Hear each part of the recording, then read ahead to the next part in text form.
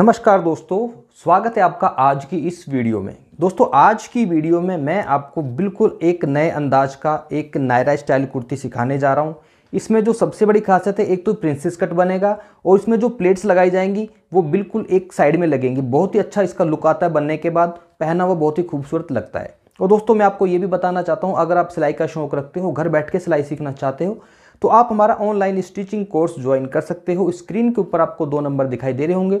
इन number पर call करके पूरे कोर्स की आप डिटेल्स ले सकते हो। तो दोस्तों, अब शुरू करते हैं आज की वीडियो और सीखते हैं कुछ नया।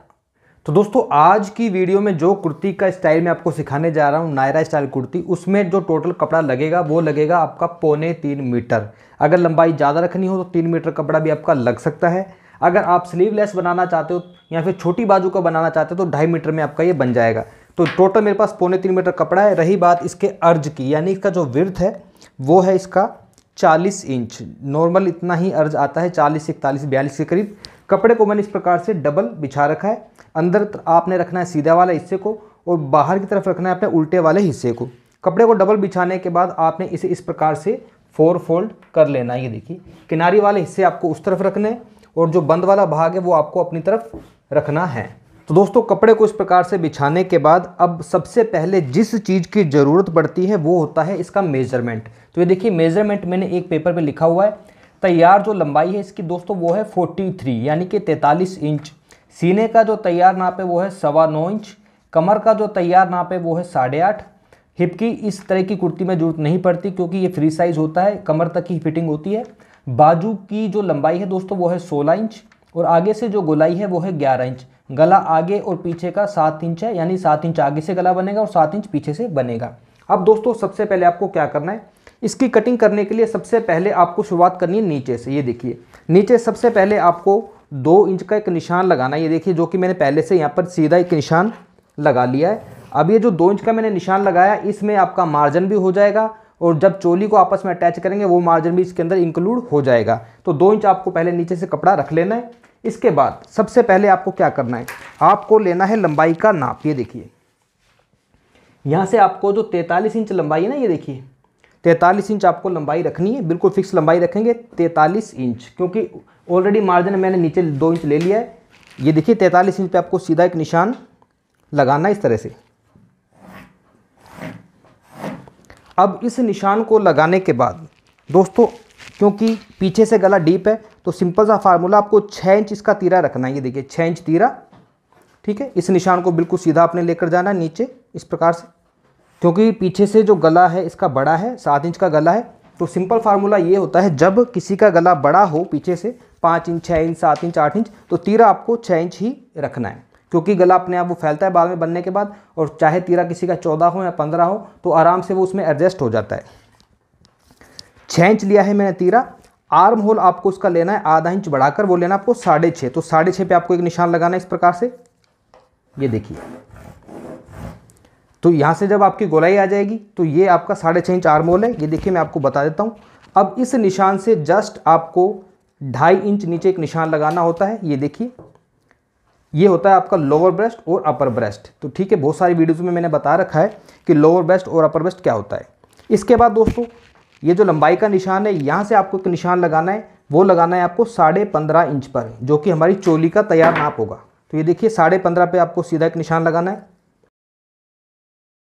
अब इसके बाद दोस्तों हम करेंगे इसमें मार्किंग। मार्किंग किसकी करनी है? सीने की। तो सीने का जो नाप है आपको दोस्तों यहाँ से लगाना है, नीचे वाले निशान से, जो कि मैंने आपको बताया था, सीना जो तैयार है, वो है इसका सवा नौ।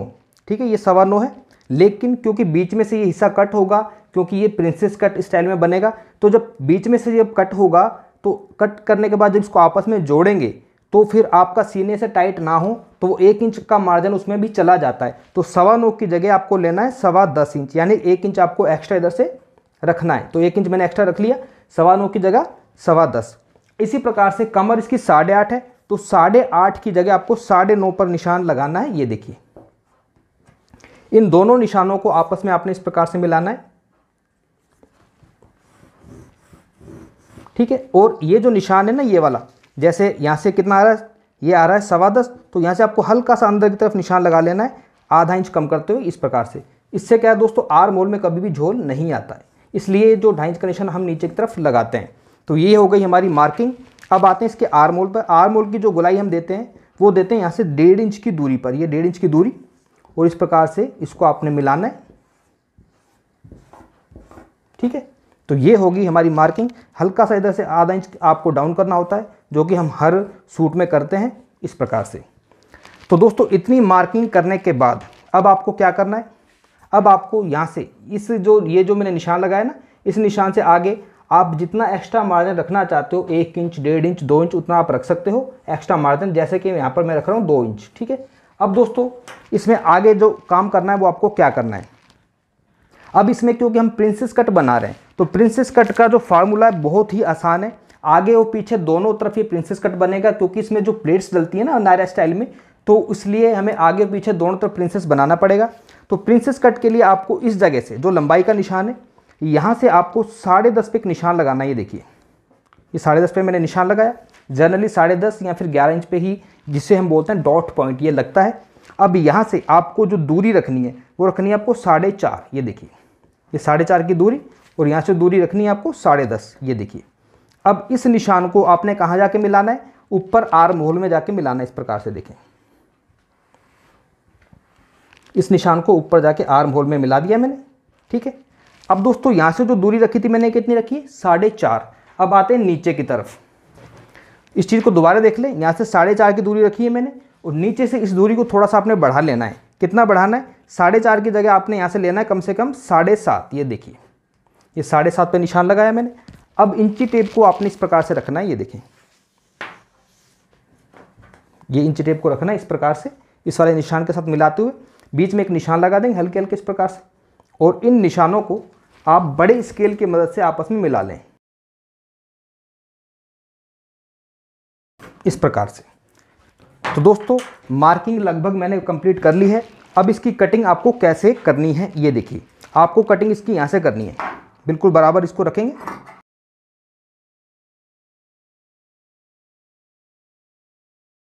ये कटिंग केवल आपको यहाँ तक करनी है। इसके बाद आपको आगे से कटिंग कैसे करनी है, या ये देखिए। ये जो है ना प्रिंसेस कट वाला पार्ट यहाँ से आपको कटिंग करनी है।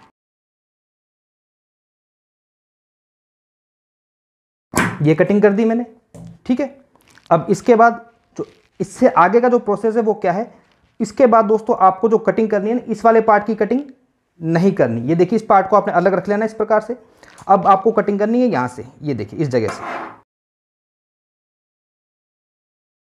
अब ये जो कपड़ा बचा है, इसको रखेंगे साइड में, क्योंकि इससे आपकी बाजू निकल आएँगी। अब इस चीज़ को थोड़ा सा आपको ध्यान से समझना होगा, ये देखिए। इस पार्ट को मैंने ऐसे अलग कर लिया, ये देखिए, ठीक है? नीचे से आपको कुछ नहीं करना, जितना इसका फुल घेर है उतना आने दो। अब दोस्तों, ये जो पार्ट अलग हो चुका ना, ये वाला, इसको भी अलग रखते हैं। अब आपको क्या करना है? अब आपको केवल जो प्लेट्स लगानी है ना, इस एरियाज़ में लगानी है। यानी कि इस प्रकार से देखिए, इसको पकड़ेंगे। एक, दो, तीन, चार, पाँच छः पाँच या छः प्लेट इसके अंदर आराम से आ जाएँगी। और बाकी का जो कपड़ा बच रहा है ना, ये, लगभग इतना कपड़ा बच रहा है, देखिए, यहाँ तक।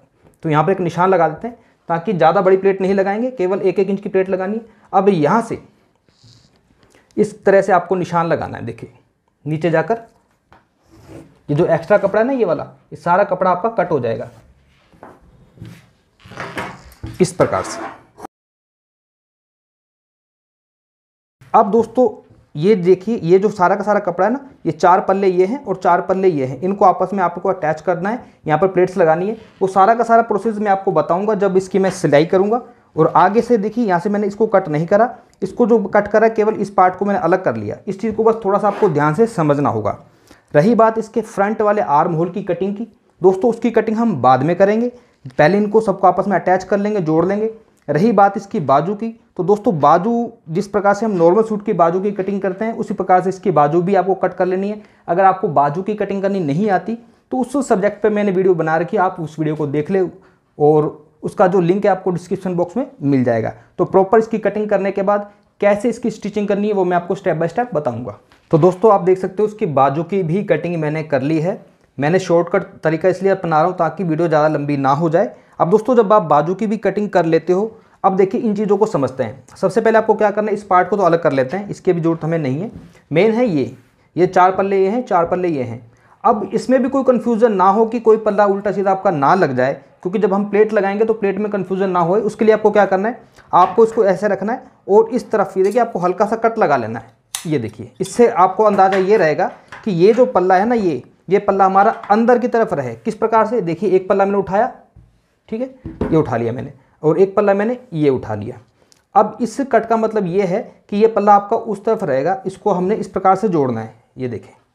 ठीक है? लेकिन जोड़ने से पहले आपको क्या करना है? आपको जोड़ने से पहले इसके अंदर लगानी है हल्की हल्की प्लेट्स इस प्रकार से देखें। हल्की हल्की प्लेट्स लगानी है और इसे कवर कितने में करना है? आपको इसके अंदर कवर करना है और कहाँ तक करना है? ये देखिए। ये जो फिटिंग का निशान है ना, इस फिटिंग के निशान से पहले पहले ही आपको प्लेट्स लगानी है। और प्लेट्स कैसे लगानी है, उसके लिए मैं आपको लेकर चलता हूँ मशीन पर। तो दोस्तों, किस प्रकार से आपको प्लेट्स लगानी है, ये देखिए। ये नीचे वाला पल्ला है, ये ऊपर का जो पल्ला है, इसको आपने इस प्रकार से रखना है। अब इसमें जो मेन बात वो ये है कि शुरुआत आपको इधर से करनी है, यानी कि इधर से आपको ये जो कट दिख रहा है ना, ये वाला, ये देखिए, आपको निशान भी दिख रहा होगा। ये तो हमारा सिलाई में मार्जिन चाहेगा। तो इस मार्जिन तक तो बिल्कुल सीधी आपको सिलाई रखनी है, ये देखिए इस प्रकार से। ठीक है, अब इसके बाद ये जितना भी एक्स्ट्रा कपड़ा है इसमें आपको प्लेट्स लगानी है इस प्रकार से देखें। ये जो प्लेट्स है ना इस, इसे किस प्रकार से लगाना है आप देखें। यहाँ से शुरुआत करनी है आपको। चार या फिर पाँच प्लेट आएँगी ज़्यादा प्लेट नहीं आएँगी। ये देखिए जिस प्रकार से हम सलवार में प्लेट्स लगाते हैं ना उसी प्रकार से आपको इसमें प्लेट्स लगानी है। प्लेट लगाते समय आपको ये देखिए बिल्कुल इसको बराबर रखना है यहाँ से ठीक है। और यहाँ पर जो प्लेट लगेगी ना, ये यहाँ से जो थोड़ा सा डिस्टेंस आपको उतना रखना है, क्योंकि जब हम इसकी प्रिंसेस कट वाली सिलाई करेंगे तो ये प्लेट बिल्कुल इसके ऊपर नहीं होनी चाहिए। यहाँ पर जो है कम से कम मार्जिन होना चाहिए, आधा इंच से पौन इंच के करीब। ये देखिए, इस प्रकार से आपको प्लेट्स लगानी है।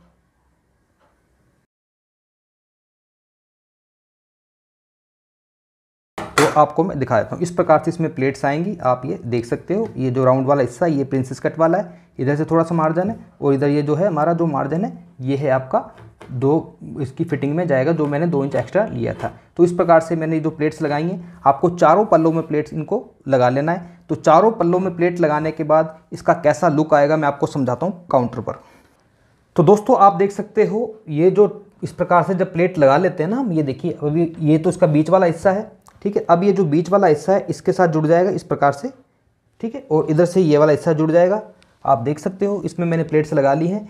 इधर प्लेट लगाई, इधर प्लेट लगाई। प्लेट लगाते समय आप देखें, इधर से जो है आपको इतना गैप रखना है, जो कि इसमें फिटिंग में चला जाएगा दो इंच। इधर से आपको लगभग आधा इंच के या फिर पौना इंच के करीब मार्जिन रखना है, क्योंकि जब इसको आपस में जोड़ेंगे ना, इस प्रकार से जब सिलाई लगाएँगे तो बिल्कुल इसके ऊपर प्लेट नहीं आएगी। तो इस प्रकार से आप ये देख सकते हो कि मैंने जो प्लेट्स लगा ली हैं, नीचे इसका पूरा का पूरा घेर है, आप देख सकते हो। प्लेट्स जो लगाई हैं, केवल हमने इतने हिस्से में ही लगाई हैं। लेकिन दोस्तों, अभी आप चाहें तो उसको ऐसे के ऐसे भी जोड़ सकते हो, लेकिन और क्रिएटिविटी करनी है तो उसके लिए आपको क्या करना है? तो उसके लिए दोस्तों, आप देखें, मैंने इस प्रकार से टोटल ये चार डोरियाँ बनाई हैं। एक, दो, तीन और ये चार। चार डोरियाँ बनाई हैं और इन डोरियों को आपने यहाँ पर लगाना है, ये देखिए, इस जगह पर। ठीक है? इधर एक डोरी को लगाना है, एक डोरी को आपने इधर लगाना है, ठीक है? और इसी प्रकार से बाकी की दो, जो डोरियाँ हैं, आपको पीछे वाले पल्ले में लगानी है, चाहे पीछे का कह लो, चाहे आगे का कह लो, क्योंकि अभी तक दोनों पल्ले एकदम आगे पीछे के बिल्कुल बराबर है। हमने अभी आर मोल्ड की एक्स्ट्रा कटिंग अभी नहीं करी है। तो उसको करने के बाद, ये देखिए, जैसे ये जो डोरी है, आपको केवल यहाँ पर अटैच करनी है। लेकिन डोरी से ही बात नहीं बनेगी, और भी ज़्यादा क्रिएटिविटी करनी है। तो आप अपनी चॉइस की कोई लेस भी लगा सकते हो। लेस कैसे लगानी है? देखिए, केवल इतने हिस्से में एक और एक दो दो पल्ले हो गए, दो पीछे के हो गए। आप अपनी चॉइस की कोई लेस लगा सकते हो। जैसे ही मेरे पास ये लेस है, इस लेस को केवल आपने यहाँ पर रखना है, सीधा का सीधा। इतने हिस्से में आपको सीधी सिलाई लगा के लेस लगानी है। लेस को लगाने के बाद फिर आपको इस डोरी को यहाँ पर रखना है, इस प्रकार से। और बाद में इन पल्लों को आपस में अटैच करना है। तो पहले लेस और डोरी में लगा लेता हूँ। उसके बाद आगे का प्रोसीजर मैं आपको बताता हूँ। तो दोस्तों, आप देख सकते हो, इसमें मैंने लैस और डोरी को अटैच कर लिया, इधर भी और इधर भी। इसके बाद आपको क्या करना है? अब आपको इसका जो प्रिंसेस कट वाला पार्ट है ना, इस पर सिलाई लगानी है, इस प्रकार से देखें। इधर से सिलाई की शुरुआत करनी है आपको, और इस प्रकार से इसको बिल्कुल बराबर रखते रखते, बिल्कुल नीचे तक इस सिलाई को आपने लेकर जाना है। सिलाई को लगाने के बाद इसका जो लुक आएगा दोस्तों, वो आएगा कुछ इस प्रकार से, आप देख सकते हो, क्योंकि एक पार्ट में मैंने सिलाई लगा ली है, आप ये देख सकते हो, ये देखिए। इस प्रकार से जो हमारी गैदर्स हैं, जो हमारी, जो प्लेट्स लगाई हैं हमने, वो केवल इतने हिस्से में, बीच का हिस्सा बिल्कुल प्लेन है और इस तरह से आपकी लेस लग जाती है। दोनों ही आगे पीछे के ये जो पार्ट है, आपको इतने हिस्से तक जितना मैंने आपको बताया कंप्लीट कर लेने हैं। उसके बाद फिर मैं आपको आगे का प्रोसेस बताता हूँ। तो दोस्तों, इस प्रकार से आगे पीछे के दोनों पल्ले मैंने तैयार कर लिए हैं। तो अभी तक तो बिल्कुल सेम है, कोई दिक्कत वाली बात नहीं आगे पीछे। और ये देखिए, एक जो पल्ला है, इसको मैंने इस प्रकार से फोल्ड कर रखा है। आप देख सकते हो। अब इसको ऐसे फोल्ड करने के पीछे क्या रीज़न है? तो दोस्तों ये देखिए। इसमें जो सबसे बड़ा रीज़न है वो ये है कि जब हमने इसके आर्म होल की कटिंग करी थी, ठीक है? यानी कि जो उसके मुड्ढे की कटिंग मैंने करी थी तो मैंने काटा था इसको साढ़े छः इंच ये देखिए इस प्रकार से ना? लेकिन अब ये कितना रह गया? ये रह गया साढ़े पाँच। उसके पीछे कारण दोस्तों क्या है कि ये देखिए, आधा इंच, एक इंच इधर से दब चुका है और आधा इंच इधर से मतलब सिलाई में जा चुका है। तो अब आपको इस सिलाई को लगाने के बाद आपको करनी है इसके आर्म होल की दोबारे से कटिंग। तो कटिंग करने के लिए इसको दोबारे से आपने इस प्रकार से लेकर आना है, बिल्कुल बराबर रखना है। ये देखिए ये देखिए, इस प्रकार से, है ना? और यहाँ पर आपको दोबारे से उसी प्रकार से मार्किंग करनी है। जो एक इंच कम हुआ था ना हमारा आर्म होल अब उस एक इंच को आपने दोबारा इसको बढ़ाना है। ये देखिए, इस प्रकार से हालाँकि दोस्तों, हम इस कटिंग को पहले भी कर सकते थे, यानी कि जो साढ़े छः की जगह हम साढ़े सात इंच आर्म होल ले लेते, लेकिन उससे क्या ज़्यादा कन्फ्यू कन्फ्यूज़न हो जाता, इस वजह से मैंने इसको बाद में कटिंग करके आपको दिखाया है। तो ये हो गया हमारा फ्रंट वाला आर्म होल इसकी हल्की सी कटिंग हम एक्स्ट्रा करेंगे इधर से, जैसा कि हम हर सूट या ब्लाउज़ में करते हैं। तो ये मेरा फ्रंट वाला पार्ट मैंने रेडी कर लिया है। अब इसी प्रकार से ये है, इसका हम पीछे वाले भाग में कटिंग करते हैं। इसका भी आर्म होल आपको इसी प्रकार से कट कर लेना है। क्योंकि आर्म होल दोनों के बिल्कुल अभी तक बराबर थे तो इसको भी आपने इस प्रकार से इधर से एक इंच बढ़ाते हुए इधर से इसकी गुलाई करनी है, ताकि आर्म होल आपको इसकी प्रॉपर शेप में मिल सके। तो ये है इसका पीछे वाला भाग, क्योंकि फ्रंट वाले आर्म होल की इधर से मैंने हल्की सी कटिंग ज़्यादा करी है। तो दोस्तों, आगे पीछे के दोनों पल्ले बिल्कुल रेडी हैं। अब इसमें आपको क्या करना है? अब इसमें दोस्तों, जैसे हम नॉर्मल गला बनाते हैं, उसी प्रकार से आपको गला बनाना है। गले की कटिंग मैंने बुकरम पे पहले से कर रखी है। ये जो गला है, इसको मैं बनाऊँगा आगे, और ये जो गोल गला है, इसको मैं बनाऊँगा पीछे। और आगे गले को बनाने के बाद इस पर आपको इस प्रकार से ये वाली लैस को लगाना है, जो कि बहुत आसानी से लग जाएगी। आगे पीछे का गला बना लेंगे। इसी प्रकार से जो बाजू है, बाजू को भी फोल्ड करके आगे आपको ये वाली लैस लगानी है। उसके बाद इसकी जो फिटिंग है, कैसे करनी है, वो मैं आपको बताता हूँ। तो दोस्तों, आप देख सकते हो, इसका आगे का गला मैंने बना लिया है और पीछे का गला भी बना लिया है। बाजू को भी मैंने अटैच कर लिया है। इसका जो लुक है, आपको कुछ इस प्रकार से नज़र आ रहा होगा। ये इसका आगे वाला हिस्सा है। ये देखिए, दो डोरियाँ इस जगह से निकल रही हैं और ये है इसका पीछे वाला भाग। इसमें भी दो डोरियाँ इस प्रकार से हमने लगाई हैं। अब दोस्तों, बात इसकी फ़िटिंग की। तो फिटिंग जैसे नॉर्मल सूट की होती है, उसी प्रकार से इसकी फ़िटिंग होगी। ये देखिए, इसमें मैंने फ्रंट वाला जो गला है, इसमें मैं आपको निशान लगा के दिखा देता हूँ, किस प्रकार से हमने इसकी फ़िटिंग करनी है। इसको आपने इस प्रकार से पूरा ओपन कर लेना है। ये देखिए। तो दोस्तों, इसका जो सीने का नाप था, वो था तैयार सवा नौ ये है इसका बिल्कुल सेंटर वाला भाग, ठीक है? अब आपको क्या करना है? इधर से सवा नौ देखिए किधर आ रहा है। सवा नौ आ रहा है इस जगह पर। लेकिन इस चीज़ का याद रखना है कि ये जो आर्म होल है, यहाँ से ढाई इंच नीचे आपको निशान लगा के फिटिंग इसकी करनी है। ये देखिए, ये ढाई इंच, ठीक है? तो सवा नौ इधर से नापेंगे। ये सवा नौ इंच, ठीक है? इसी प्रकार इस सेंटर से सवा नौ इंच। इसी प्रकार से ये बिल्कुल सेंटर है इसका। इस सेंटर वाले निशान से आपको कमर का नाप लेना है। कमर इसकी जो तैयार थी, वो थी साढ़े आठ। अगर आप डबल भी करना चाहो तो कोई दिक्कत नहीं, साढ़े आठ और साढ़े आठ कितना होता है? सत्रह। इस प्रकार से सत्रह इंच पर निशान लगाएँ। दोनों तरफ़ से जो मार्जिन है बिल्कुल बराबर होना चाहिए। जैसे कि ये देखिए सत्रह इंच इधर और ये है टोटल सत्रह इंच, ठीक है? इस प्रकार से आपको जो इसकी फिटिंग का निशान लगाना है और इस निशान को हल्का सा आपने अंदर की तरफ़ लेकर जाना है ताकि आर्म होल में झोल नहीं आए।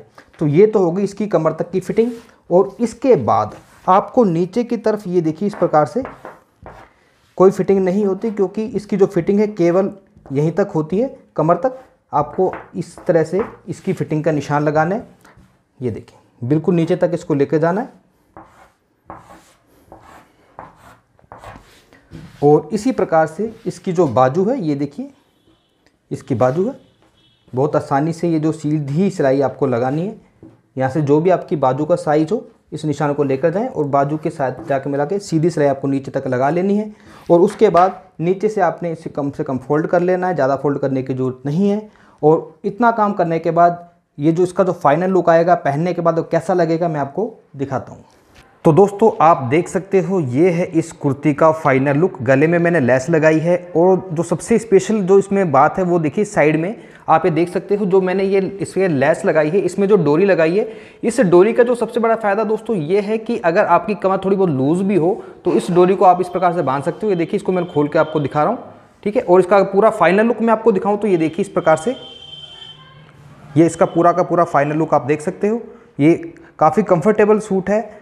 और ये देखिए, थोड़ा सा लूज मैंने इसको बनाया है कमर से, क्योंकि जो साइड में डोरी लगाई थी ना मैंने ये वाली, इस डोरी से आप अपने, इसे अपनी चॉइस की फिटिंग कर सकते हो। और इसका आपको मैं पीछे से भी एक बार लुक दिखा देता हूँ, ये देखें। बिल्कुल सिंपल सोबर ये नायरा स्टाइल कुर्ती है। और डोरी बांधने के बाद इसका जो लुक है और भी ज़्यादा परफेक्ट हो जाता है, क्योंकि बिल्कुल एकदम परफेक्ट फिटिंग आप अपने अकॉर्डिंग इसकी कर सकते हो। और डोरी बांधना बिल्कुल आसान है, इस प्रकार से देखिए, आपको डोरी बाँध लेनी है। और उधर से भी डोरी बांधें। और इस प्रकार से दोस्तों, आज की जो मेरी वीडियो थी, जिसमें मैंने आपको बिल्कुल नए स्टाइल से एक प्रिंसेस कट ये देखिए प्रिंसेस कट की जो सबसे बड़ी खासियत होती है फिटिंग बहुत परफेक्ट आती है। तो बहुत ही शानदार जो कुर्ती थी, आज की वीडियो में हमने ये जो सिखाई है आपको। अगर आपको आज की वीडियो अच्छी लगी हो तो प्लीज़ वीडियो को लाइक करें।